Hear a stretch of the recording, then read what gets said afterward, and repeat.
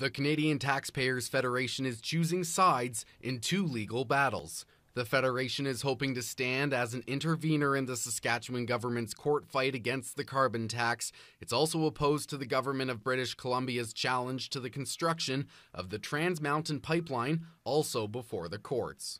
We're coming off the bench.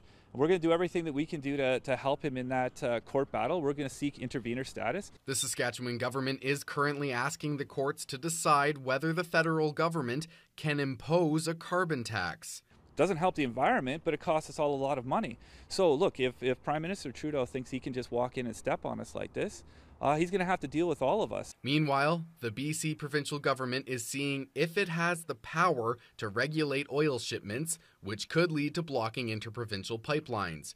The Sask government says it appreciates the support and is working on the requests. We're putting lawyers in touch with lawyers to have a discussion on the process. We're not actively going out seeking other interveners.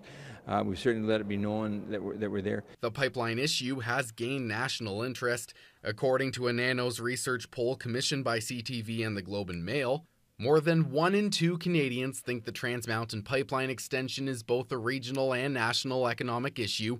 More than six in ten Canadians say the economy and the environment should be given equal consideration when it comes to pipeline construction. And nearly six in ten Canadians support or somewhat support the Trans Mountain Pipeline project going ahead, despite concerns raised by the BC government. MacKay says he hopes to clarify which properties fall under federal or provincial jurisdiction, adding the federal and provincial governments need to stick to their jobs so the Canadian taxpayer knows who to hold responsible.